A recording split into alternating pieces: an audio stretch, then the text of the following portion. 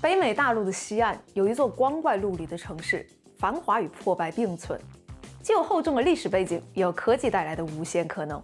它本该作为一个开放世界游戏的舞台大放异彩，但面世后却被丑闻级的争议所包围。那些优秀的设定和美学、有趣的人物和细节，都被糟糕的游戏体验所掩埋。如今两年过去，经过制作组 CDPR 的修修补补，它原本的魅力才算是逐渐被挖掘出来。大家好，我是雷亚，欢迎来到我的赛博朋克2077专题。这个游戏也是那种啊，可以说的东西太多，反倒让我不知从何说起的作品。先说个人立场啊，2077在玩法上有很多遗憾，发售时的情况也真的很恶劣。但是我依然很喜欢游戏的内容，不是因为巫师系列导致的爱屋及乌，也不是因为制作组把它修补的有多好，而是因为它是有史以来最贴近经典赛博朋克科幻风格的游戏，没有之一。CDPR 最擅长的叙事和任务设计，在这个高度还原赛博朋克的世界里面，绽放出了强大的魅力。作为爱看科幻小说的人，玩的真是超级过瘾。现在资料片《往日之影》要出了，会进一步扩展和完善这个世界。我在期待的同时呢，也想让大家在资料片发售之前，尽可能全面的了解这个游戏。所以这期影片就是我对2077的全方位完整鉴赏，从风格起源到脱胎于桌游的庞大世界观。从市场争议到玩法的实际体现，当然还有呢值得细品的剧情线设计。看过之后，你就会完全的、彻底的了解它的魅力。在开始之前呢，不要忘了点赞和订阅，支持一下我噻。好了，下面进入正题。赛博朋克是个相对比较新的科幻流派，上世纪八十年代才正式成型。这个词语最早于一九八零年被人创造，是一部短篇小说的标题，但小说内容并不是后世的赛博朋克设定。一九八二年，大导演 Ridley Scott 拍了一部电影《银翼杀手》，公认启发了两个标志性的赛博朋克元素：一呢是大公司控制下的未来社会，二呢是霓虹灯与脏乱市井混合的视觉美学。但除此之外，这部电影还是没有一个系统的赛博设定。直到两年之后，小说《神经漫游者》横空出世，才完整定义了赛博朋克。作者 William Gibson 也因此被称为赛博朋克之父。他用既冷静又梦幻的文字，描绘了一个由巨型企业、全球网络和人体改造主导的未来，开创了赛博空间等等专有的名词概念。但抛开表面上的一大堆科幻名词，赛博朋克的核心主题其实并不复杂。我把它概括成了三点：一是高科技低生活。这句话最经常用来描述赛博朋克，指的是一个拥有先进科技的社会，但老百姓的生活质量普遍很差，贫富悬殊，犯罪猖獗。二是超人类主义，指人类为了追求更高的境界，用科技来改造自身。随之而来的身份丧失和身份认同问题，是赛博朋克很爱探讨的一个主题。第三点呢，就是反抗权威，因为赛博朋克作品的主角往往都处在一个反抗权威和制度的立场上。这三个主题是赛博朋克的骨架，而那些天马行空的科幻元素，就是用来填充骨架的血肉。其中呢，又有三个极具标志性的事物：赛博空间。赛博植入体以及凌驾于政府之上的巨型公司。先说巨型公司，这种公司业务遍布全球，并且拥有强大的军事力量，其运作早就超出了传统政府的监督范围，主导着人类社会的发展。二零七七里面的荒坂集团就是一个典型。巨型公司是极端资本主义的代名词，漠视被资本淘汰的底层民众，也不存在社会责任感，所以处在其影响下的社会阶层当然严重分化。然后就是知名的赛博空间 （Cyberspace）。Gibson 写《神经漫游者》的时候，我们今天的互联网还没诞生，所以他把未来的网络形式幻想成了一个独立的虚拟数字空间。数据在这个空间里面会形成实体状态，而黑客可以通过仪器把自己的意识接进去，以物理形式跟数据交互进行侵入和修改。但赛博空间的危险不亚于现实战争，黑客一旦受到强大的数据攻击，当场脑死都有可能。每次的接入都是在刀尖上跳舞。最后是俗称一体的赛博植入体，也就是植入人体的科技产品，比如电子脑、强化器官等等，一般是出于军事和医疗目的开发，但因为实用性，就演变成了全体人类的生活方式，成为美容美发一样的家常便饭。植入体改变了社会的规范，模糊了人和机械的界限，也自然而然引出了有关人性本质的思考。这些科幻概念跟背后的思想，赋予了赛博朋克风格一种特殊的美感。很多人说是赛博朋克的美，第一时间想到的就是霓虹灯，但那个只是视觉层面的美。我觉得它更深层次的美学来源，还是高超的科技和破败的现实元素碰撞出的火花。这种碰撞可以让人同时感受到过去的沉重与未来的无限可能性，创造了一种时空错位感。里面有无数可以幻想的话题，既迷人又沉静。赛博朋克流派确实影响了后世的科幻创作，不少我们熟悉的作品里面都或多或少有它的元素。但能在气质和设定上高度贴合《神经漫游者》这一类经典赛博朋克文学的，其实不是很多。而在那之中呢，有一套来自美国的桌游系列。这套桌游就叫赛博朋克，始创于1988年，是俗称跑团的那种桌面角色扮演游戏。它推出过多个不同的版本，发展出了一个横跨百年的庞大世界观。吸引了一群核心粉丝，其中就有远在波兰的 CDPR 主创。早在巫师三发售的两年前，CDPR 就动了把这个桌游 IP 改编成电子游戏的心思。那个时候的 CDPR 国际知名度还不是很高，所以桌游作者 Paul Smith 在听到他们的请求之后，态度是充满怀疑的。但 CDPR 在跟他的多次交流中间，表现出了极大的热情和对桌游世界观的充分理解，这才打消了庞大叔的疑虑，同意签约授权，并全程担任开发顾问。赛博朋克2077就此立项。为了有更大的发挥空间，制作组把游戏故事的时间定在了2077年，比桌游的主要时间线晚了好几十年。而游戏的主人公也将会是一个全新的原创人物 V，性别和外貌由玩家自定。事实上，2077的内容跟桌游差别非常大，毕竟电子游戏有着桌游无法实现的实时战斗、叙事还有视听元素，对应的设定呢也必须更丰满、更复杂。游戏里面的场景、剧情和绝大部分人物都是原创的，但与此同时，他们也保留了桌游的重要人物，比如 Johnny 银手、Adam 重锤、荒坂三郎等等，还大幅扩展了相关的剧情。值得一提的是，虽然桌游的标志性人物基本都在2077里露了面，死活不现，但是有个唯一的例外，就是传奇佣兵 Morgan 黑手。他在桌游里的存在感非常强，但2077却只有寥寥几句文字对白提到他，不知道惊喜会不会藏在资料片里面。玩家在桌游里有很多职业可供选择，像是中间人啊、黑客啊、独狼佣兵、摇滚小子等等等等。而2077的主角 V，剧情设定上就是一个标准的独狼佣兵。靠承接危险的战斗类工作来生活，但游戏的主角毕竟只有 V 一个人，所以其他职业的特色有的被做到了 V 的技能树里面，有的则只能依靠剧情来展现，让从事其他职业的人物出现在 V 的生活里。桌游里有个独特的规则机制，叫赛博精神病，是一种过度安装一体之后可能引发的精神疾病，患者会出现幻觉，变得极具攻击性。这个概念同样被 CDPR 带到了2077里，只不过并没有做进 V 的一体系统，而是通过一系列的委托任务来展现。至于桌游那庞大的世界观和历史世界，则被 CDPR 简化成了一些碎片，散落在剧情对白和游戏的文档资料中，跟巫师系列表现原著事件的方式一样。玩家不知道这些事也没关系，因为游戏的剧情是对原作的续写，是独立的新故事。但一旦知道了，就能更深入理解剧情背后的势力关系和逻辑。所以我在第一次通关之后，就立即去找了桌游的设定资料来读。后来玩第二遍的时候，对剧情的感觉果然就不一样了。二零七七的世界观跟两大巨型公司的对抗脱不开关系，那就是来自日本的荒坂集团和美国本土的军用科技，彼此都拥有最先进的军事力量。其中荒坂集团是个历史悠久的家族企业，也是整个故事的势力核心。其业务横跨军事、科技、地产和金融，如同一个国土覆盖全球的帝国。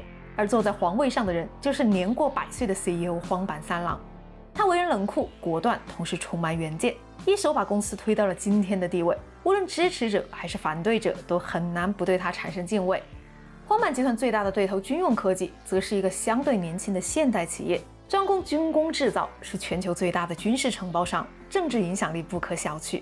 美国政府一直被军用科技牢牢控制。那荒坂作为外来者是怎么在美国跟军用竞争的呢？这就要说到该世界观那巨大的历史脑洞了。在我们现实世界里，美苏冷战以苏联解体而告终，但是在赛博朋克的世界里，苏联在冷战结束后和平转型，美国才成了全面崩溃的那一个。世界老大哥的位置则被崛起的欧共体取代了。是的，这个世界观里的全球老大是欧洲。这就是为什么我们在夜之城用的货币是新欧元，而不是美元。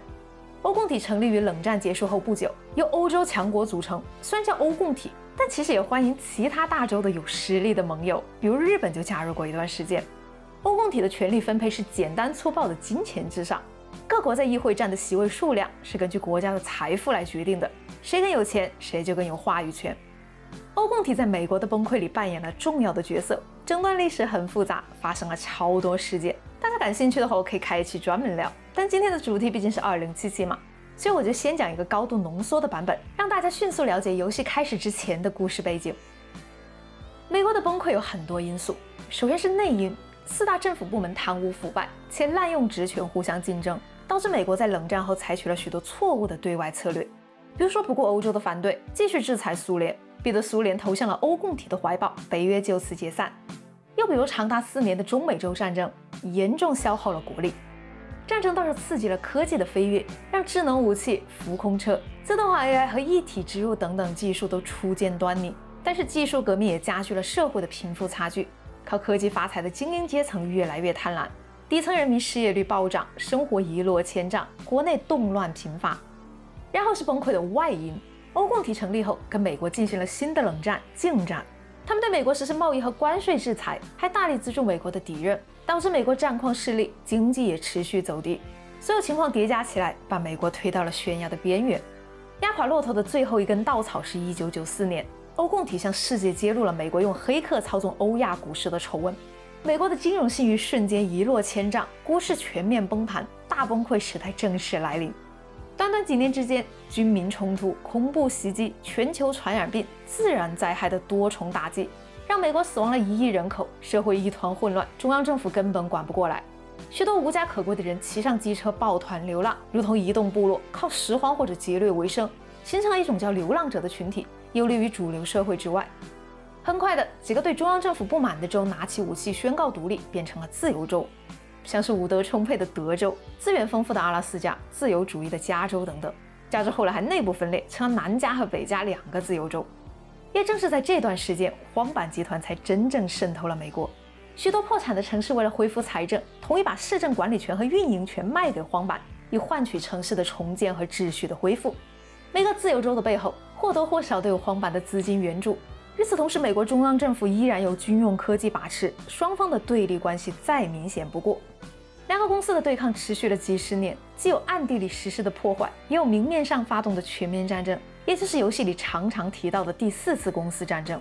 他们动用了包括生化武器和战术核弹在内的极端手段，对人类社会造成了重大破坏，尸横遍野，死伤无数。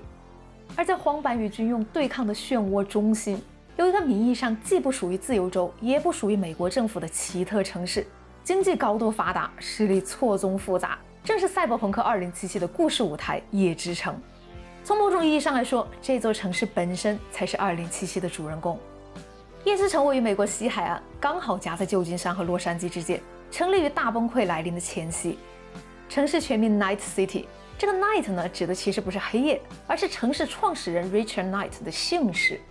他是一个靠新型建材起家的富豪，提前预见美国必将崩溃。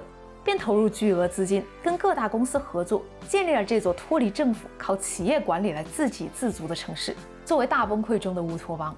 城市一开始叫科罗拉多城，拥有完善的基建和自由的商业政策，吸引了大量企业和移民，但也招来了黑手党、山口组等等黑道势力的觊觎。他们想掺和到城市建设里分一杯羹，而 Knight 果断地拒绝了他们，导致了自己的悲剧。一九九八年，Knight 在家中被黑道暗杀，一代理想家就此陨落。市政府为了纪念他，才把城市改名为 Night City 夜之城。但夜之城再也无力坚守 Night 的理想。在他死后，市政府很快屈服于黑道势力，沦为黑帮的傀儡。各个黑帮瓜分了夜之城的资源，互相之间抢夺产业，交火不断。城市的治安如同虚设，犯罪率和死亡率空前高涨，可谓夜之城最黑暗的时期。黑暗持续了十多年。直到荒坂集团决定把夜之城建成北美的发展据点，才开始进行整顿。他们投入军队，从黑帮手里夺取了城市的控制权，史称帮派战争。荒坂的到来让夜之城秩序改善，经济飞速发展，成为国际化的商业都市。但穷人的生活还是糟透了，许多人因为买不起房子流落街头，或是买不起医疗服务而死去。同时，科技的进步和传统黑帮的覆灭，也让一些新型帮派开始崛起。比如热衷于人体改造、成员半数有赛博精神病的漩涡帮，擅长网络攻击、崇拜赛博空间的巫毒帮，还有日本移民组成的虎爪帮等等，都是这段时间浮现的。底层民众一边面临帮派威胁，一边被大公司剥削，日子苦不堪言。在这种不平等的情况下，一群特殊的摇滚明星出现了。他们不光是音乐人，也是社会运动分子，用摇滚宣扬反公司、反资本的思想，把演出变成示威活动，收获了大量支持者。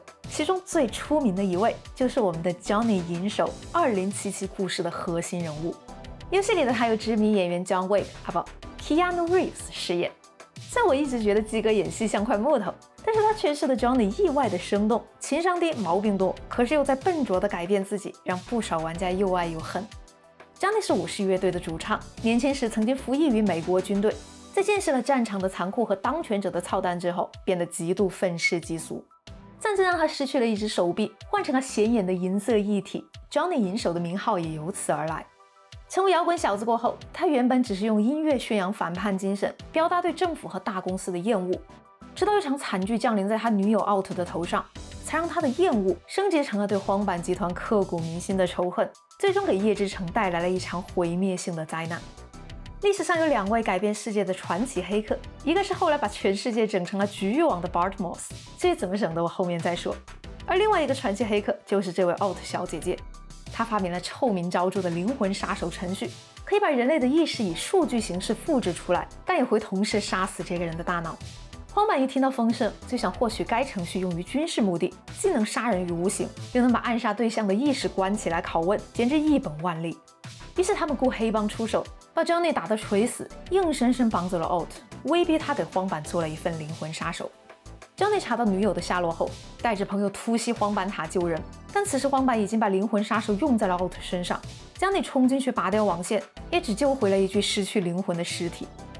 就那悲愤不已，但他没想到的是，奥特的意识已经被成功复制。这一拔线，给了女友逃进网络的机会，只不过是荒坂塔的内网。一段时间之后，奥特的数字意识设法联系上了 Johnny，说自己被困在荒坂塔的网络里。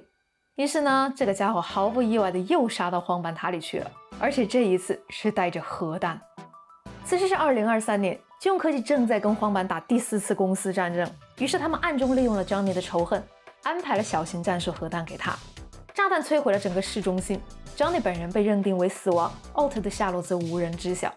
荒坂集团紧急撤出夜之城，市政系统瘫痪，城市再次陷入混乱，而 Johnny 也成了后人眼中的疯狂恐怖分子。军用科技抓住此次机会，一鼓作气把荒坂逼出了北美。Johnny 如此厌恶大公司，但到头来还是讽刺的变成了公司的棋子。不过从某种意义上来说，Johnny 确实解放了夜之城。荒坂离开过后，城市耗费多年完成重建，恢复繁荣。之后的半个世纪，世界各地的其他公司都在叶之城蓬勃发展，互相制衡。比如中国的康陶、意大利的生物科技等等，形成一种微妙的平衡。叶之城因为这种平衡得以独立运作，不成为某一方的傀儡。但在二零七七故事正式开始的八年之前，局势又被一场大战彻底改变。此时的美国中央政府早已重组，变成了政商合一的新美利坚合众国。军用科技成了国有企业，同时总统又由军用科技前 CEO 出任，属于是装都懒得装了。国家稳定了，自然就想把失去的土地收回来。二零六九年，新任总统 Myers 刚一上岗，就对各大自由州发动了统一战争。对，就是资料片里将会登场的这位。在 Myers 强大的军力面前，自由州节节败退。但当他决定攻打夜之城之际，一位提前得知消息的市议员暗中向荒坂集团求助，扭转了战争的结局。荒坂看到了重回北美的良机，立即派了超级航母坐镇。新美国被迫权衡利益，下令退兵，统一大业就这样尴尬的结束了。无论新美国还是自由州，都不想引发恐怖的公司战争，只得坐下来签和平条约。有的自由州呢，直接就回归了；而有的自由州只同意挂名加入，保留实际自治权，比如夜之城所在的北加州。至于夜之城本身，则可以维持自由都市的原状，并获得了新美国的正式承认。从结果来看，叶之城成功保住了独立权，但代价是重新被荒坂帝国掌控。如今的荒坂集团实力更上一楼，开发了许多新的产业和技术，攫取了巨大的利益。回归夜之城之后，他们立马投入资源，修建了新的荒坂塔，并对城市进行了大幅改建。而这个形态的夜之城，才是我们在2077里最终见到的模样：一个风格多元、极度发达的国际大都市，承载着无数人的梦想，也伴随着无数人的幻灭。CDPR 在游戏里设计的夜之城，体现出了他们对赛博朋克世界观的忠实理解。但在聊具体的设计细节之前，有一个绝对避不开的话题，就是那场游戏界前无古人的发售丑闻。赛博朋克2077经过多次跳票，最终定档的发售日期是2020年12月。那个时候的 CDPR 已经名扬天下，靠巫师三积攒了超强的口碑，所以玩家对新作的期待值本来就高。而且2077在发售之前还进行了长时间铺天盖地的宣传，展现了很多野心巨大的设计概念，热度被炒得出了圈。导致无数新老玩家都早早预购，期待着新的神作降临。结果呢？大家等来的是一个 bug 多到荒谬、优化几乎为零的半成品。尤其是在 PS4 和 Xbox One 这种前代主机上，连正常运行都做不到。而宣传中展示的很多玩法和功能，在游戏里也没能得到体现。我都不敢想象这种事居然能发生在一个成熟的商业社会。大家想一想啊，知名商家竟然敢对外隐瞒开发进度。把未完成的产品直接投入市场，那消费者能不炸锅吗？整个发售成了一场灾难，许多预购玩家深感被欺骗，全网骂声滔天。CDPR 只能一边公开道歉，一边处理海量的退款请求和投资者的欺诈诉讼，真是对他们的形象损害，直到现在也没能完全恢复过来。我自然已经是对技术问题很宽容的人了，但首发的时候都真心玩不下去，恶性 bug 满天飞，只能哭笑不得的封盘。等一年多过后，修补到一点五版本，我才重新打开游戏通了关。那个时候 bug 已经修得差不多了，玩家口碑也开始回温，我玩得很享受，但同时也不停地注意到一些玩法机制上的不足，深深地感到可惜。毕竟味道这么正的赛博朋克开放世界，迄今为止真的仅此一家。先从场景来说，夜之城的细节充分体现了赛博朋克的多样性，用形形色色的场所表现各行各业的生活。同时，光影和色彩的交织也让都市在视觉上充满了动感与活力。地图的规模很大，分为室内和郊外，其中室内被划分为六个大区，每个区都有主导的帮派以及重要的地标。例如，游戏的起始地点沃森区就是漩涡帮的出没地点，它是个复合型工业区，治安混乱，底层人口密集。像 V 住的公寓就是那种一栋楼能容纳几万人的多功能未来贫民窟。因为序章阶段玩家只能在沃森区活动。所以制作组就把它做得特别大，北边是工业港和工厂群，南边是商业区，有很多标志性的地点，包括大名鼎鼎的来生酒吧。这座酒吧是雇佣兵和中间人聚集的地方，这两种人代表了夜之城地下世界的运作方式。雇佣兵负责接委托，而中间人负责帮客户和雇佣兵牵线。中间人往往背景复杂，人脉资源强大，在游戏里扮演着重要的角色。来生酒吧的现任老板 Rogue 就是夜之城最大牌的中间人，年轻时还是传奇级别的雇佣兵，参加了 Johnny 核爆荒坂塔的事件。来生有个光荣的传统，会用死去的传奇人物来命名鸡尾酒，当然现在也有了动画版的主角 David。沃森区里还有一间知名酒吧——栗子酒吧，是新兴帮派莫克斯的地盘，成员多为性工作者、地下艺术家一类的边缘人士。成立帮派的初衷也是为了保护自己的安全和尊严。而城市东部的威斯特布鲁克区就是另一番景象了，商业和娱乐业都高度发达，最能体现赛博朋克的文化交融和纸醉金迷。由于日本界就在这个区，所以虎爪帮的势力最大，而玩家们喜闻乐见的云顶会所和扭扭街也都位于这边。除了以上两个大区，城里还有拉美移民聚集的海伍德区、秩序井然的 CBD 中心区等等，各有特色，我就不一一列举了。六大区是夜之城内部的格局，至于郊外的大片土地，则被通称为恶土，分布着垃圾填埋场、小镇废墟、军事基地之类的地方。游戏里的流浪者族群就只在恶土活动。整个夜之城从景观规划到细节设定都非常充实，唯一的问题就是沉浸感稍显不足。任何游戏厂商一旦去挑战设计都市型的开放世界，就很难不拿来跟 R 型的作品比较。而 R 型的开放世界之所以让人沉浸，就是因为 NPC 生动的 AI 和大量的环境互动元素。反观 2077，CDPR 在发售前重点宣传了夜之城的沉浸感，但最终大部分的环境元素都是背景板，路人的 AI 也简单粗暴，很难让玩家感到这个世界是活的。我随便举两个小例子，比如说公共交通，二星早在08年的作品里就做到了让玩家乘地铁实时在纽约穿行，可以随时中途看风景的那种。而夜之城里的地铁站呢，只不过是两眼一抹黑的传送点，就这还是发售过后才补进去的。又比如戏中戏式的媒体节目，而新早在二零一三年的作品里面就做到了电视上有八个完整节目和几十个完整广告滚动播放，电影院里能看不同的电影，增加沉浸感，也丰满了世界观。相比之下呢，夜之城的媒体节目质量就有点心有余而力不足了。其实我觉得二零七七里有个超级适合拿来做戏中戏的东西，就是超梦。它是一种记录设备，能捕捉录制者的视角和感官体验。别人看回放的时候，就能体验录制者当时的感觉。看超梦是夜之城民众常见的娱乐方式，但玩家在游戏里能买到的超梦，只是一个个道具栏里的废品。我们唯一能体会超梦的地方，就只有主线剧情拿来查案，感觉白白浪费了那么好的设定。都市开放世界还有个最基本的沉浸体验，就是听着车载电台音乐，放空自己，四处兜风。但就算是这个，我在夜之城都很难去做，因为游戏里面车子的手感实在是太难以描述了。我相信很多玩家在开过之后都不会再考虑摩托以外的交通工具。这些车的外观倒是都设计得非常酷，不过制作组发售前暗示过的载具定制系统，游戏里同样没有出现。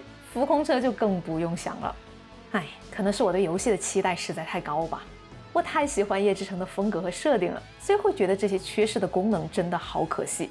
要是都做出来的话，绝对能让夜之城成为游戏史上的经典开放城市。有这种感觉的人肯定不止我一个。看看 PC 版玩家做的那些 mod 吧，完整的地铁系统、更好的驾驶手感、增强的群众 AI，还有可驾驶的浮空车，大家都在试着让夜之城更接近心目中的样子。官方说资料片也会对游戏做出这方面的修改，比如载具手感和警察 AI。那我就希望它能更好呗。接下来是游戏的装备系统和技能系统。这个系统在我看来最大的任务就是还原赛博朋克世界观下对异体和黑客技术的运用。异体方面，CDPR 采用了比较传统的 RPG 逻辑，把异体设计成了一个单独的装备种类，独立于武器和服装之外，拥有自己的界面。不同异体能增强 V 不同方面的能力，或者是改变 V 的移动模式和攻击模式。至于黑客技术呢，在游戏里面，V 能随时启动电子眼扫描，对敌人或机器执行黑入选项。但想要增强黑肉的效率和威力，解锁新的黑肉模式的话，就需要去技能树里面自行学习。本作的人物属性看起来很简单，只有五项：肉体、镇静、智力、反应和技术。但是每项属性背后都有个很大的技能树，比如黑客的技能树就在智力后面。这五项属性的数值由玩家自行分配，会关系到你能装什么异体，能学什么技能，以及对话时的一些特殊选项。比如你要是想装新型机械手当一拳超人，就得发展肉体点数。要是想自己制作传奇装备，就得去堆技术点数；想学终极的黑客技能嘛，当然就得优先加智力了。这个技能系统确实明显区分了各个流派的玩法。我自己一开始是个莽子近战党，蛮力近战和敏捷近战双修，简单粗暴的刷。当二周目一试黑客流，才发现了自己的真爱。成型过后，可以轻松的兵不血刃杀穿一栋楼，真正意义上的瞪谁谁死，感觉自己就是 Bartmoss 在世。跟近战和黑客相比，枪械方面的流派对我吸引力就低一点了，可能也跟本作武器的数值词条太多太乱有关。不过那个电磁短路硬龙流确实很逆天，最高难度单刷荒坂塔都可以突突突无脑杀穿。比较尴尬的是呢，不管技能还是装备系统，都会在接下来的资料片里被大幅修改，据说会更简洁、更符合逻辑。所以我今天就不过多介绍这方面了，等资料片出了再看它改成什么样。话说回来，跟战斗体验有关的系统本来也不是 CDPR 的强项。二零七七真正的重点还得是它的任务设计和剧情线编写。制作组在这上面的功力一直以来都有目共睹。光靠形形色色的故事情节和玩家在里面亲手做出的选择，就能撑起一个丰满的世界。我们先从支线任务开始。本作的支线一共有三种类型。其中最有存在感的当然就是剧情支线，体验极其丰富，用夜之城的众生百态表现未来的种种道德困境或是奇葩行为，跟巫师三支线一样让我记忆深刻。像屌炸哥和出租车 AI 罢工这种，真的是把我眼泪都笑出来了。我不整个两三期支线专题都总结不完。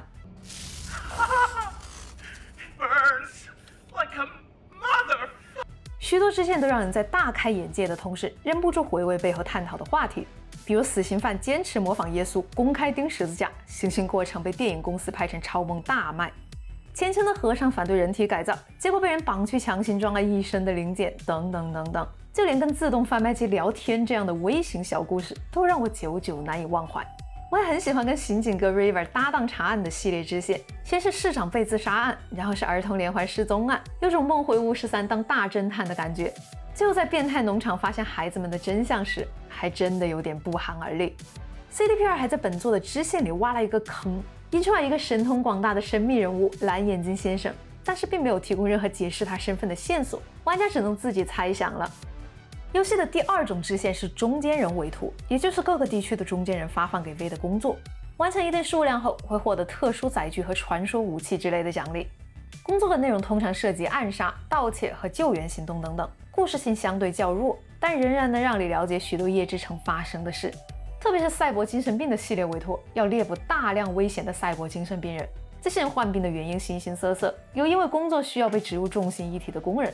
有退役的军人，也有单纯的人体改造上瘾者等等，反映了一体化社会带来的种种问题。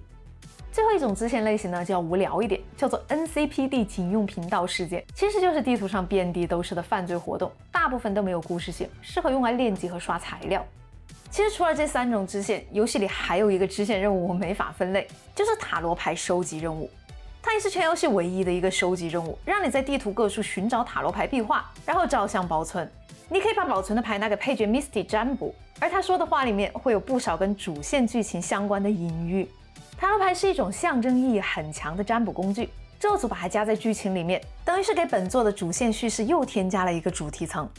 二零七七主线的整体结构简洁明了，序章和中段比较线性，乍一看好像削弱了选择分支，但后面多个结局的触发条件又是复杂的网状，还是体现出了玩家选择的分量。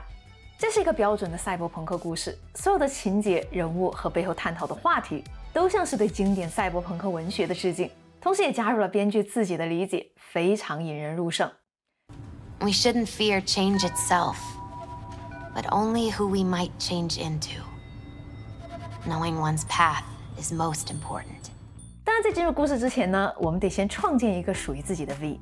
在这个一体化的时代，性别和外貌的界限都不复存在。所以捏人的选项也极其自由，我们甚至能随意组合 V 的两性特征，反正游戏最后会根据 V 的声音来判定性别。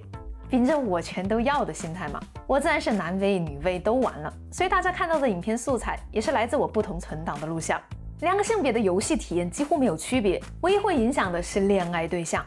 亲密关系一直是 CDPR 游戏的特色之一，除了成人娱乐和支线小福利以外，游戏还给玩家安排了四位潜在的恋爱对象。无论男 V 还是女 V，都能去做他们四个的人物剧情支线，和他们成为好朋友。但想要升级成恋人、亲亲抱抱的话，就得看性别了。毕竟人有不同的取向嘛。比如聪慧可爱的技术宅 Judy，以及成熟可靠的刑警 River，就只会对女 V 产生爱情。而野性的流浪者 Panam 和敏感的摇滚老炮 Carrie，则只有男 V 可以更进一步。除了性别差异，制作组还给 V 设置了三个不同的出身差异：街头小子、流浪者以及公司员工。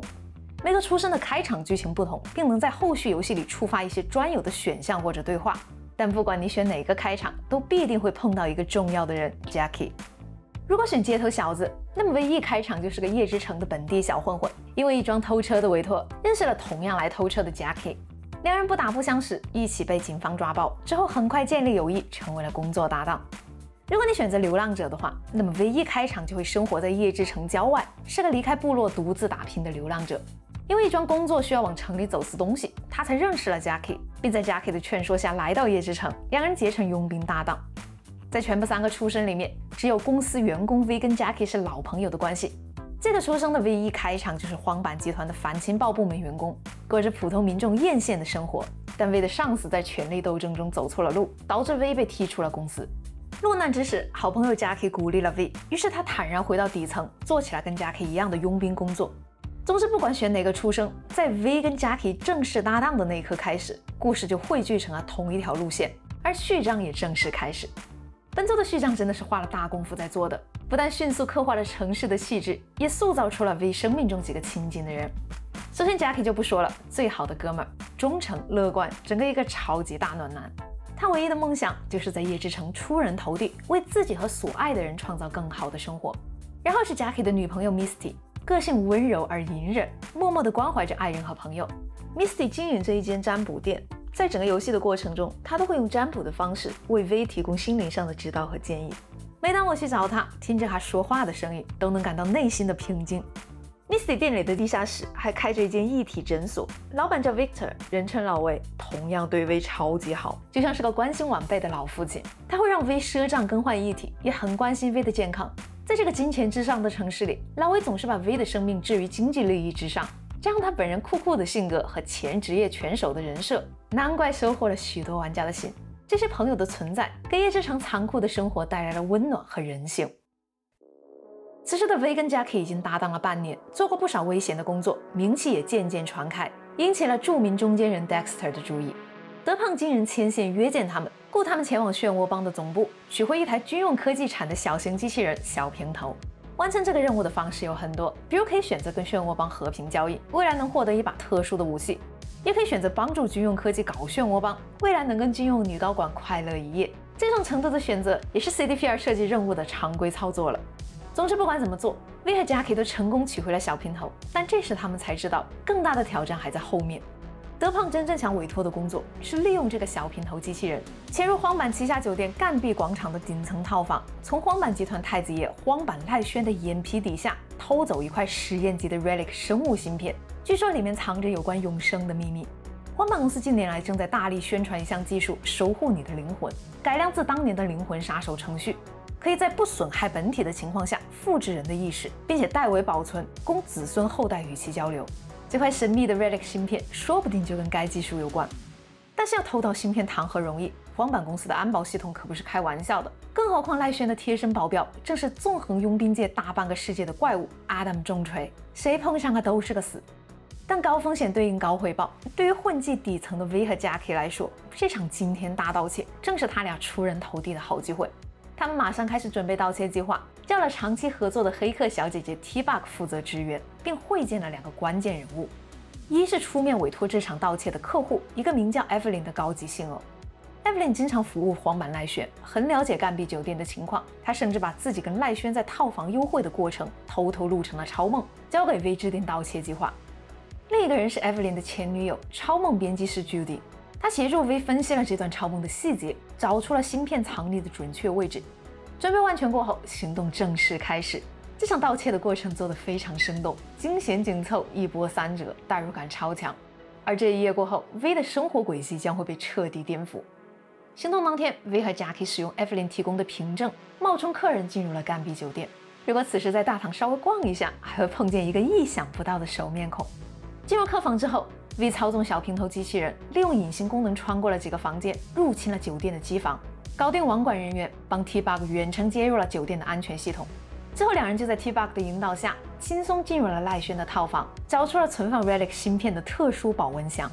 计划到目前为止都很顺利，但就在此时，始料未及的情况出现了：屋顶停机坪突然有浮空车降落，而赖轩也突然回防。V 和 Jack 来不及跑，只得紧急躲进装饰墙的夹层。两个人透过墙体的屏幕看到了接下来发生的一切。从停机坪走进房间的人，居然是传说中的皇帝荒坂三郎本尊。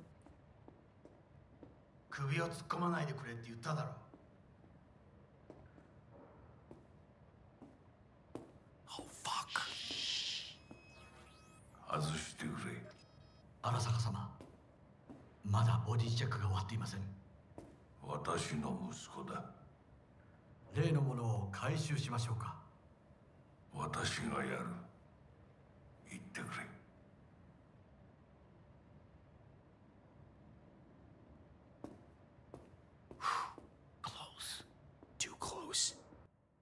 私が気づかないとでも思ったのか？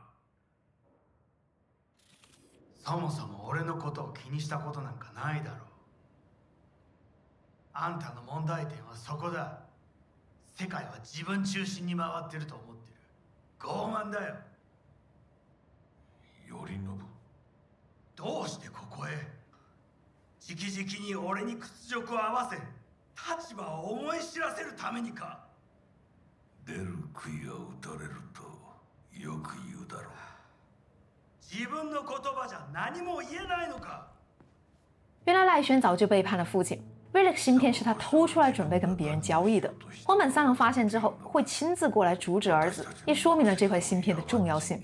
面对父亲居高临下的教训和嘲讽，赖轩愤而爆发，突然出手，当场掐死了父亲。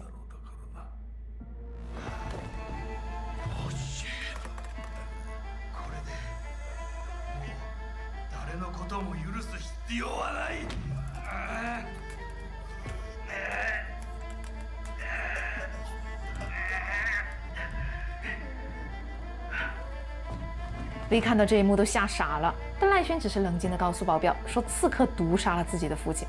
他的话虽然荒谬，但下人哪里敢质疑什么，只能听从赖轩指挥，离开现场，封锁酒店，派人搜寻刺客。干皮大厦立即被安全部队层层包围，而接在安保系统里的 T-Bug 小姐姐也被荒坂黑客发现，脑子被烧，当场死亡。看样子刺杀皇帝的石盆子注定要扣在 V 和 Jackie 的头上了。两人顶着枪林弹雨，提着芯片仓皇逃窜，途中保温箱破了，Jackie 只得把芯片插进自己的大脑端口，保护芯片不受损坏。他身体中弹，流血不止，硬是撑着一口气，跟 V 一起杀到了地下停车场，成功逃离酒店。但 Jackie 的身体终究还是撑不住了，静静地死在了车里。V 本来就惊魂未定，现在又看着挚友死去，所有情绪汇集在一起，转化成了无处发泄的怒火。跟 Jackie 深深道别过后，V 就把芯片藏进了自己的脑端口，冲去找中间人德胖理论。哪料等待着他的是一颗过河拆桥的子弹。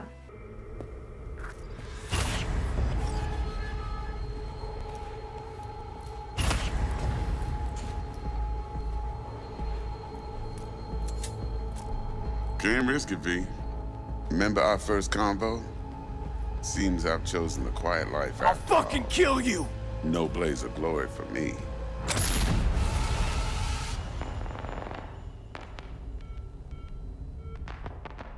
枪杀 V 过后，德胖把 V 的尸体丢到了城外的垃圾填埋场，但没人料到这一枪激活了 V 脑中的 Relic 芯片，芯片开始修复 V 的脑损伤。与此同时，一段陌生的记忆也出现在了 V 的眼前。谁能想到啊？这块芯片里的数据，竟然是著名摇滚明星兼恐怖分子 Johnny 银手的数字化意识。V 所经历的，正是 Johnny 生前最后的记忆。记忆来自五十四年前的那个晚上，Johnny 开了一场演唱会。他跟依依不舍的乐队吉他手 Carrie 告别过后，便发动了夜之城史上最大的恐怖袭击。他带着年轻时的 Rogue 以及其他几个雇佣兵帮手，空降攻入了荒坂塔，一路大杀特杀，设置好了核弹。在这之后，Johnny 并没像世人认为的那样死在核爆中，但也没能按计划逃离现场，而是被荒坂的头号打手 Adam 重锤打倒，抓到了荒坂三郎的面前。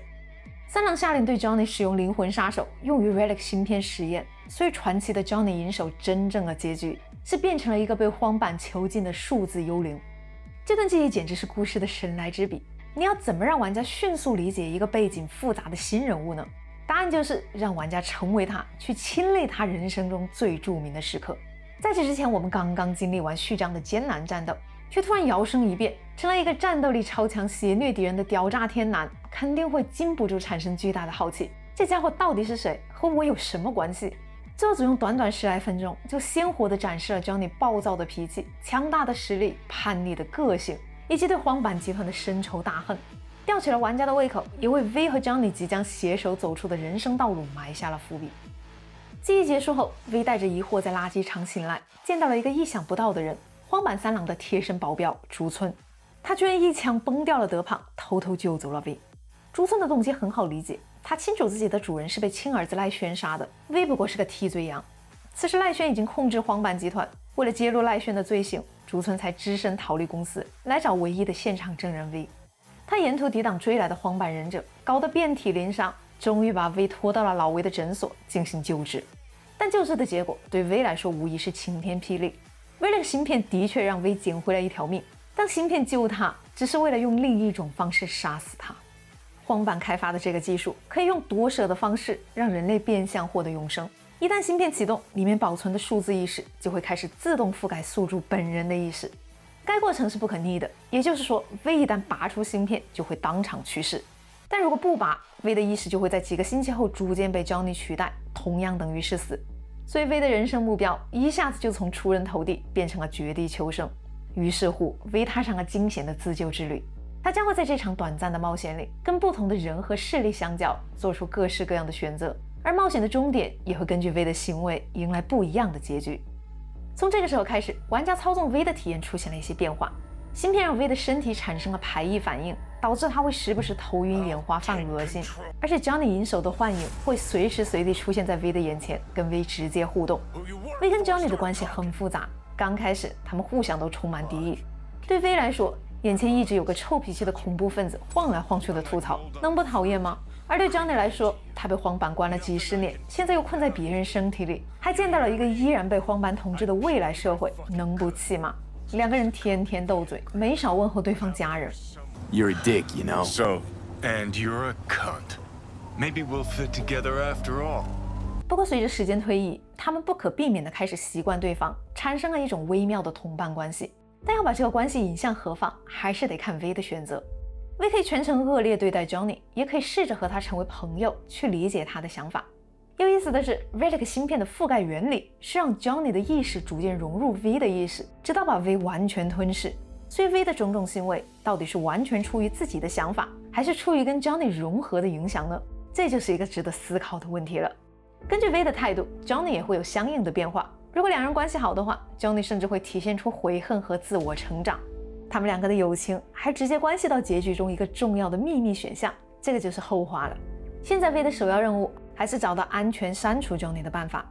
但在出发之前，V 有一件必须先去做的事，就是参加挚友的葬礼。Jackie 的妈妈在拉丁社区经营着一间酒吧，深受社区里黑白两道的敬重。她在酒吧为儿子组织了传统悼念仪式，朋友和社区成员都纷纷前来纪念 Jackie 的一生。V 跟 Misty 去到了 Jackie 的房间，看着房里的东西，互相分享对 Jackie 的回忆，其中有很多 V 不知道的事情。此时此刻，V 才算是真正的了解了 Jackie。最后，V 按照习俗从房里挑了一件物品，放上挚友的灵坛，正式跟他道别。Jackie 的死对很多玩家来说都是游戏里最大的悲剧之一。要命的是，你还可以继续打电话给他，听他设置的自动语音提示。听完过后，V 还会伤感的自言自语。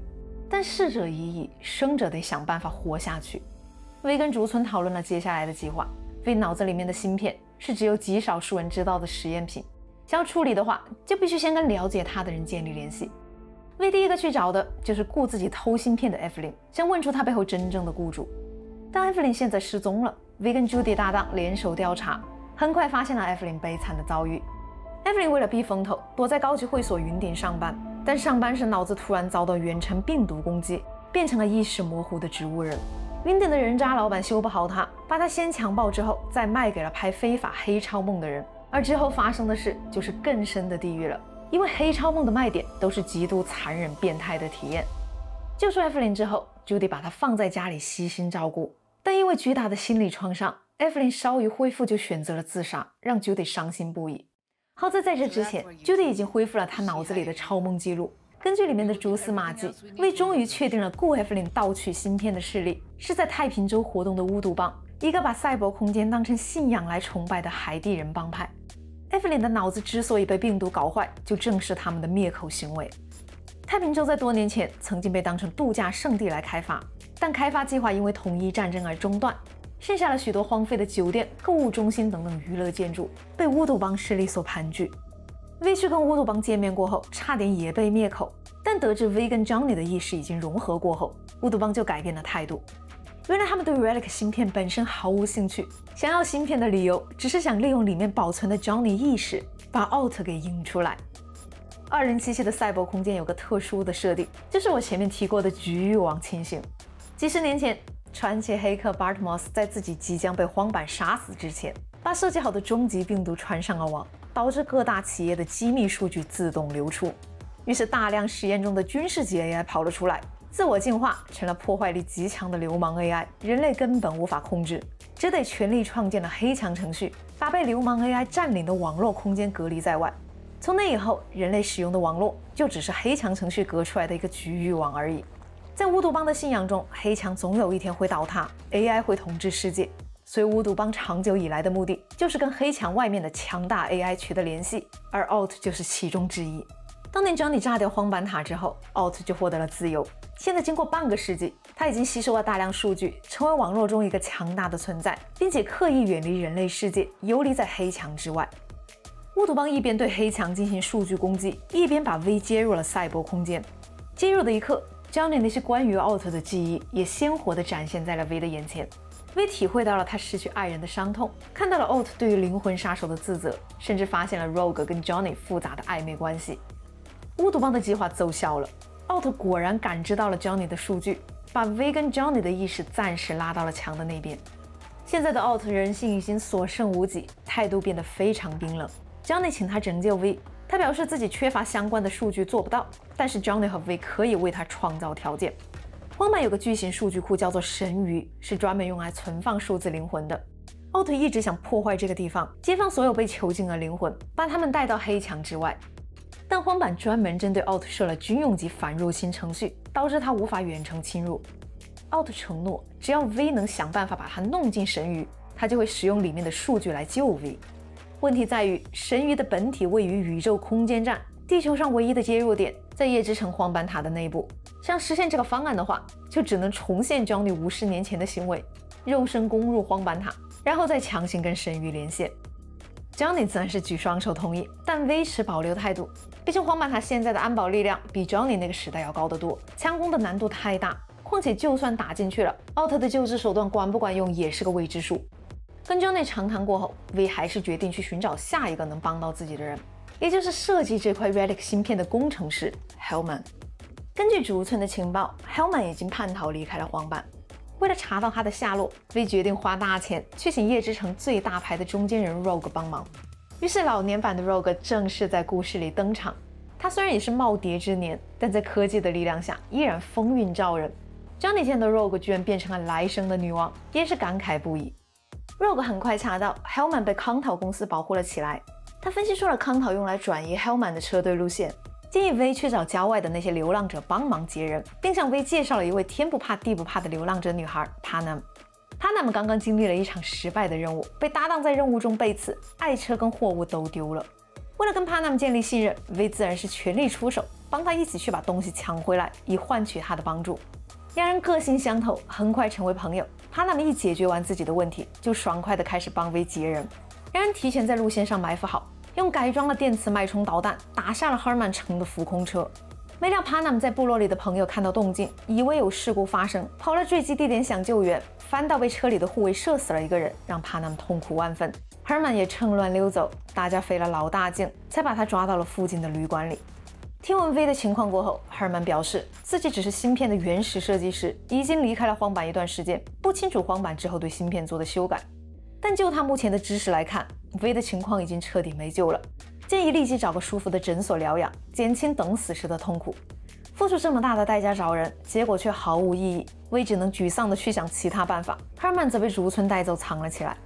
解铃还需系铃人，可能还是只有荒坂集团才能解决 V 的难题。竹村也一直在用这件事说服 V，让 V 协助他揭发荒坂赖血，之后再动公司之力来帮助 V。他向被介绍了公司内部的权力斗争形式，并提到了皇帝生前最宠爱的继承人女儿黄板华子，也就是赖轩的妹妹。赖轩在情感上非常依赖华子，但华子对父亲极度忠诚，两人的身后分别是两个对立的派系，也算是政敌关系了。竹村计划把真相告诉华子，取得华子的帮助。他先是秘密联系了华子的保镖小天，请求安排会面。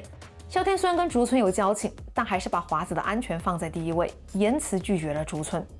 走投无路之下，竹村做了一个大胆的决定。最近华子会参加日本街的祭典，竹村计划潜入祭典挟持华子，以获得单独谈话的机会。为了周密实现挟持计划，两人一起做了大量的前期准备，而威也因此加深了对竹村的了解。竹村的出身极其贫困地位，但年幼时就被公司挑选带走，训练成为特工，后来又被荒坂三郎亲自挑中。成为贴身保镖，赋予了他绝对的信任，可想而知他对黄坂三郎有多么感激。那是一种无法撼动的忠诚，驱动着他所有的行为。虽然竹村对 V 产生了友情，想要帮助 V 治好身体，但这是建立在不违背荒坂家族利益的前提之上的，所以 V 也不知道到底该信任竹村到什么程度。And true, you oppose the corporations, their order, their word, in a mindless way. Yet you offer no worthy alternative.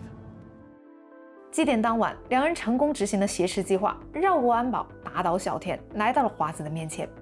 花子不听解释，充满敌意的攻击竹村，竹村只得将他打晕带走，关到一处破屋，再把真相缓缓道来，请求华子的原谅。这下子大小姐听进去了，但赖轩的部队又突然攻入了破屋，把妹妹强行救走。为紧急逃离现场，并顺手救下了正在被围攻的竹村。两个人分开躲避风头。V 躲去了城外的汽车旅馆，不过也很快被华子偷偷查到了。华子使用替身前来相见，邀请 V 去高级餐厅余烬见他，协助他公开哥哥的罪行。只要事成，荒坂集团就会全力把 V 治好。这正是 V 寻找的第二个自救方案，而游戏的最终任务线五十五号夜曲也在此时正式开启。但直接去触发这个任务见华子的话，故事只会走向默认的恶魔结局。想要给 V 的故事开启其他的可能性，就需要在游戏里完成特定的剧情支线，加深跟两位重要人物的关系，一个是 Panam，另一个则是 Rogue。Panam 的个人支线剧情都跟他的部落阿德卡多家族有关。流浪者的部落就等于一个大家庭。Panam 虽然跟族长 Saw 一直有分歧，甚至因此负气离开部落，可一旦真的发生了什么事，他们还是会关心彼此的安全。家人不就是这样的吗？Saw 突然遭遇危险失踪，Panam 第一时间请 V 帮忙去找人。而在历经艰险救出 Saul 之后，V 也说服了帕纳姆回归部落，跟 Saul 重归于好。不过回家之后的帕纳姆依然我行我素，跟几个族人偷偷瞒着 Saul，制定了劫走军用科技新型坦克的计划。还好，在 V 的帮助下，有惊无险的成功了。当这些事件结束，V 跟帕纳姆和他族人的交情已经变得无比深厚。为了 V 的生命，他们绝对会两肋插刀。然后是来自 Rogue 的支线，因为他跟 Johnny 的关系，这段剧情的重点人物其实还是 Johnny。Johnny 知道 V 不管用什么方式处理芯片，自己大概率都会消失。于是他提出了一个遗愿，希望 V 能在解决芯片的问题之前，去亲手杀了 Adam 重锤，替他复仇。想找出重锤目前的位置，需要 Rogue 的协助，而想要请动 Rogue，只能是 Johnny 亲自开口。Johnny 请 V 把身体暂时交给他掌控。要是从前，V 当然不可能答应。不过 V 现在已经很信任 Johnny 了，只是再三叮嘱不要拿身体去乱玩，然后就服下了意识阻断药。但 Johnny 怎么可能不乱玩？这个老小子憋了几十年，终于可以自由活动，当然疯狂 happy 了一晚上。喝得酩酊大醉，还往身上整了个 Johnny V 爱心的有意纹身，搞得 V 醒来后哭笑不得。还好他没有玩到耽误正事。当 V 醒来的时候，Rogue 已经坐在了 V 的房间里，也完全接受了 Johnny 活在 V 脑子里的事实。而 Johnny 一旦有什么事需要帮忙，就算 Rogue 嘴上再不情愿，也一定会帮。Rogue 查到了重锤的小弟的下落，亲自带 V 杀了过去，但很遗憾的，并没有能通过小弟找到重锤。Johnny 的复仇愿望也失败了。战斗过后，Johnny 破天荒地跟 V 深入谈了一次心，正视了他过去的种种错误，话中满是遗憾和悔意。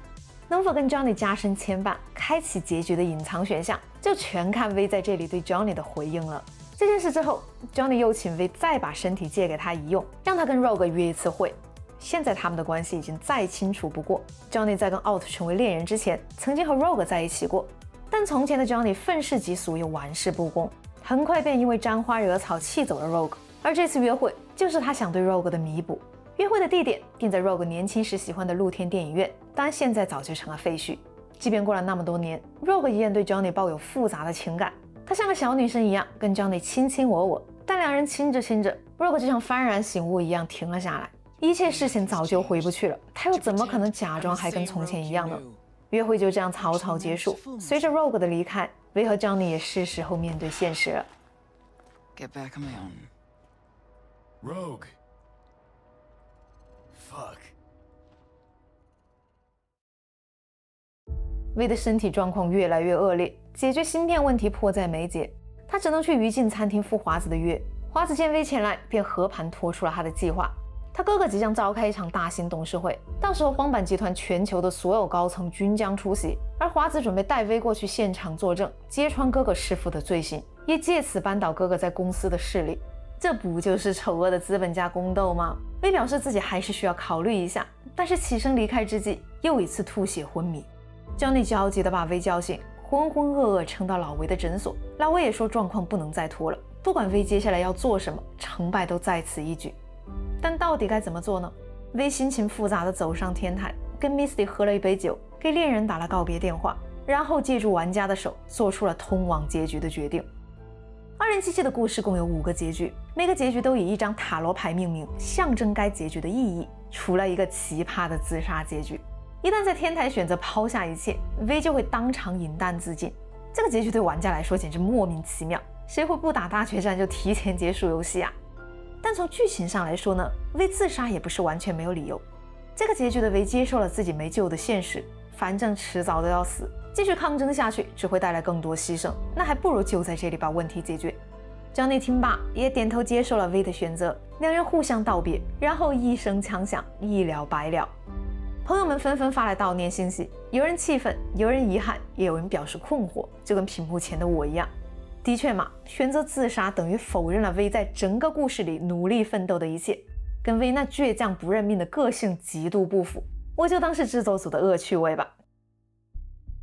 好啦，接下来才是二零七七故事的四个正牌结局，第一个便是游戏默认的恶魔结局。如果在天台选择跟华子合作，就会触发这个结局。江内最恨荒坂，听了当然不爽，所以 V 先吃了颗药，让他暂时闭嘴，然后拨通了华子的电话。在塔罗牌里，恶魔象征着束缚、诱惑和无知，往往代表占卜者被物质欲望和短浅的目光所困，而 V 就正是如此。他被荒坂的承诺所诱惑，自愿成为公司斗争的棋子，其结果注定不会太好。好在这条路能展现更多荒坂公司的内部细节，用来进一步了解世界观还是不错的。此时的竹村跟赫尔曼都已经重回荒坂，处于华子的庇护之下。没料在董事会召开的前夕，华子突然被哥哥软禁了起来。威根竹村杀了过去，赶在董事会前救出了华子，然后一起前往荒坂塔。但是在正式进入董事会之前，花子带威去见了一个他藏起来的秘密武器，居然是他老爸荒坂三郎的数字意识。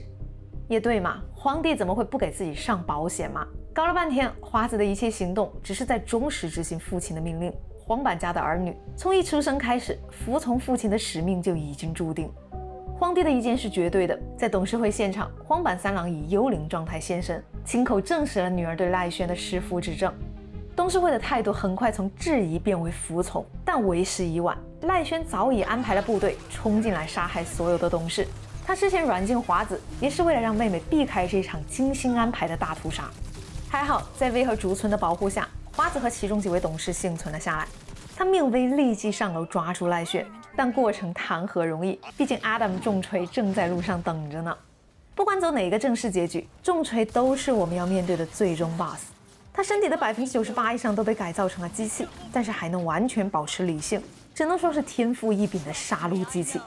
重锤的每一次攻击都威力巨大，并且身法如神。但经历了层层战斗磨练的 V，如今也早非等闲之辈。只可惜 Johnny 不在，没能体验到 V 为他复仇的最终瞬间。How about that, Johnny? That was for you. 随着重锤的倒下，赖轩的反叛大计化为泡影。他从小便恐惧父亲，而这种恐惧化为了恨意，支撑着他尽一切努力去反叛，去取代父亲。但到头来，父亲还是赢了。没有人能忤逆荒坂帝国真正的皇帝。赖轩颓然倒地，像幼儿一样蜷缩进妹妹的怀里。他裹着一件巨大的和服，整个画面。竟呈现出了一种诡异的宗教感。花子看似温柔地安慰赖轩，但很快的，他就会把父亲的 relic 插进哥哥大脑，让赖轩从各种意义上被父亲彻底吞噬。事件结束后，华子开始执行和 V 的约定，将 V 送上了神宇所在的轨道空间站。V 在这里接受了荒坂科学家的手术，把 Johnny 的意识从芯片上永久擦除。手术的期间，V 的意识在神域里跟 Johnny 进行了最后的交谈。对于 V 选择被大公司利用这一点，Johnny 暗暗嘲讽，而 V 也毫不留情地回怼，两人的最后一面就这样不欢而散。从手术中醒来过后，V 没高兴多久，就隐隐感到了不对劲。他的精神迷迷糊糊，每天在空间站重复着无聊至极的测试，直到竹村带来绝望的消息：荒坂治不好芯片对 V 身体的侵蚀，V 的寿命最多只剩半年。这下子 Johnny 的嘲讽成真了。不管 V 怎么的愤怒，怎么去埋怨竹村，他现在的选择也只剩两个：一是签授权合同，委托荒坂复制自己的数值意识，存到神域里面，等未来找到适配的身体再做打算。当然了，这等于是把自己变成大公司的一份财产。至于大公司值不值得信任，我想这个世界的历史早就给出答案了。所以 V 也可以拒绝如村这个提议，带着遗憾回地球等死。不管哪个选择，感觉都很可悲。V 非但无法拯救自己，还成为大公司的棋子，协助了荒坂三郎的复活。这个结局的游玩过程也很憋屈。从醒来的一刻，画面就变成了严重偏色的阴间色调，然后要不停重复无聊的体检测试，等来绝望的通知，意识到什么都无力改变，的确很恶魔。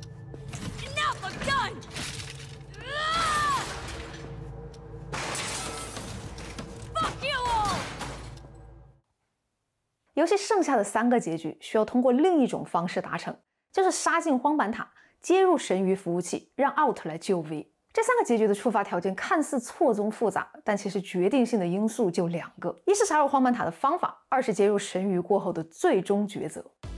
先说方法，如果在天台选择找帕南帮忙攻打荒坂塔，就有机会触发很多玩家眼中最幸福的星星结局。帕南把 V 叫去他的营地，跟族长 Saul 一同出谋划策，制定了从地下钻隧道入侵荒坂塔的计划。经过之前的那些出生入死，阿塔卡多家族早就把 V 当成了自己人。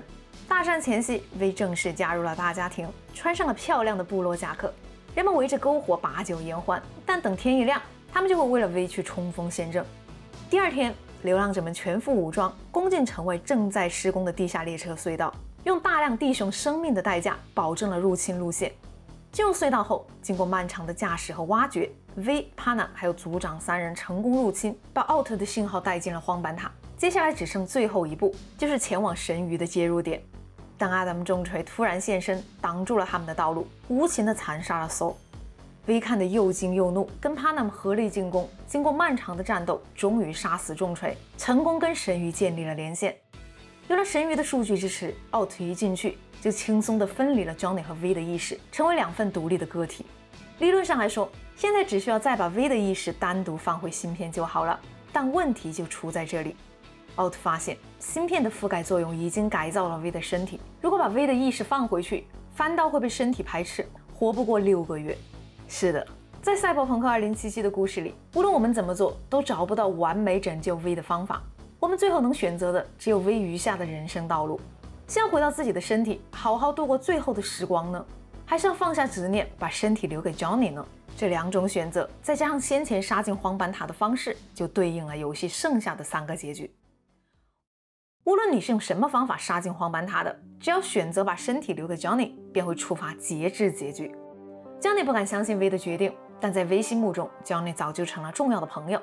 与其拉着朋友一起死，不如让朋友取代自己活下去。两人在神域里黯然道别，然后故事便进入了尾声。我们要操作 Johnny，平淡的度过在夜之城的最后一天。这个结局我个人非常喜欢，全程有种洗尽铅华的味道。白天的夜之城阳光灿烂，一切如常。Johnny 前世留下的那些疯狂痕迹，早已经被世界所遗忘。他收拾好了行李，然后带邻居家爱听摇滚的少年出门，给少年买了把琴，笑着听少年聊到银手，仿佛在听别人的事情。他去了一趟公共墓园，把 V 的遗物留在了那里，当做最后的再见。如果此时在墓园里走走，可以看到许多老朋友的墓碑，甚至有 Johnny 自己的墓跟 Out 相邻而葬，上面刻着 Johnny 的真名，那种感觉啊，真的是恍若隔世，非常的奇妙。扫墓之后，Johnny 便搭上远行的巴士，告别这座城市，走向第二世的人生。节制在塔罗牌中代表着平衡、和谐，一种自我的调和。也许那就是现在的 Johnny，不再偏执，不再愤怒，人格中永远留有 V 的温度。如果把 Johnny 看作故事的主角，那么这个节制结局真的不失为一个完美的句点。The guitar! You forgot your guitar! No, I didn't. Haven't forgotten a thing. Never will.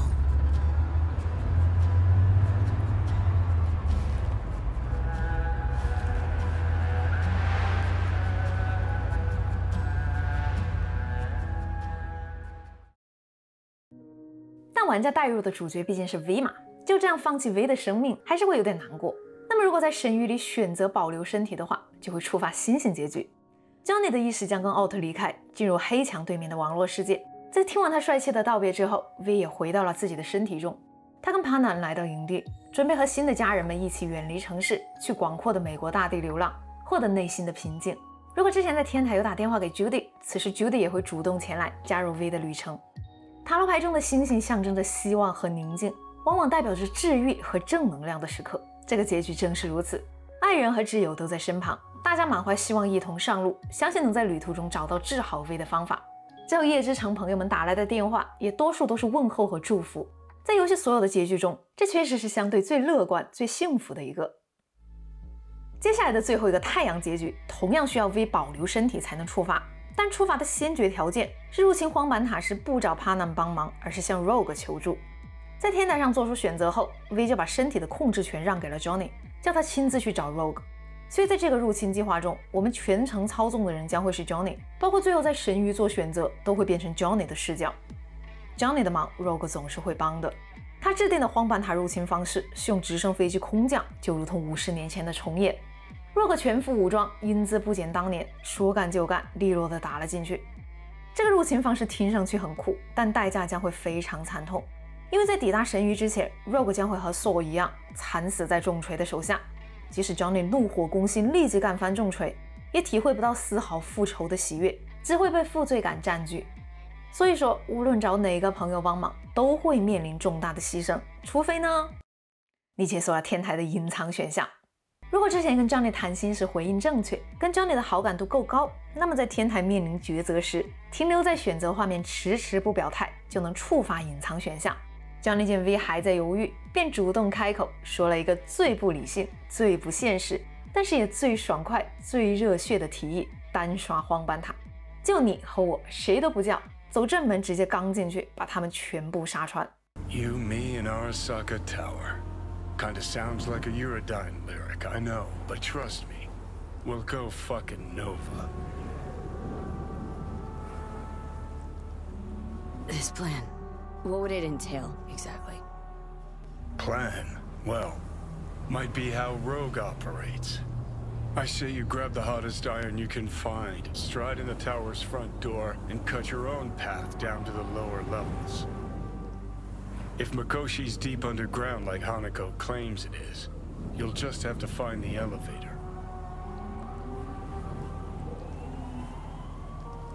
If I gotta die, rather fall into my grave gun in hand and on fire. And not drag anyone down with me. Huh. You just discovered what it takes to become a legend. Grab your iron. Let's mobilize. 想也能想得到这个方法会有多困难，敌人将会源源不断的出现，各个攻击力超凡。而 V 一旦倒下，游戏就会强制结束，开始播放制作人名单画面。但在玩家的努力下，V 就像杀神附体一般，一层层的清场，直到抵达阿达姆重锤的面前，打响一场酣畅淋漓的复仇之战。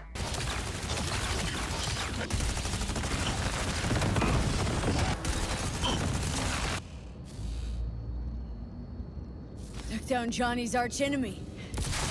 Gotten good, I guess. Damn, it feels nice. 在这之后，V 进入了神域，仍然是那二选一的抉择，能触发的结局仍然和 Rogue 线一样，只是不会害死任何朋友，皆大欢喜。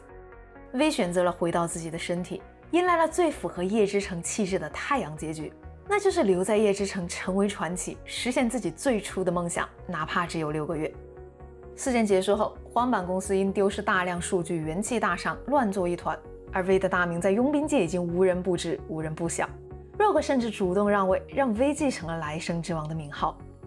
V 住进了曾经梦寐以求的顶级公寓，俯瞰这个城市，过着接大单、赚大钱的日子，要活出最后的灿烂。即使身边的爱人不认同这种生活，V 也心意已决。塔罗牌中的太阳代表充沛的生命力，往往象征着重大的成功。在这里，当然就是指实现了目标的 V。相信 Jackie 如果在天有灵，也会为 V 感到骄傲，因为他达成的是他们两个人共同的梦想。在故事的最后，有位客户到来生酒吧找 V，居然是神秘的蓝眼镜先生。他带来了一个高难度委托，要 V 飞出地球，潜入荒坂的赌场空间站偷数据，而 V 自然是爽快答应。在尾声的最后一幕，V 穿着太空衣浮出舱外，眼前是五彩斑斓的太空赌场，而《赛博朋克2077》的故事就定格在了这激动人心的时刻。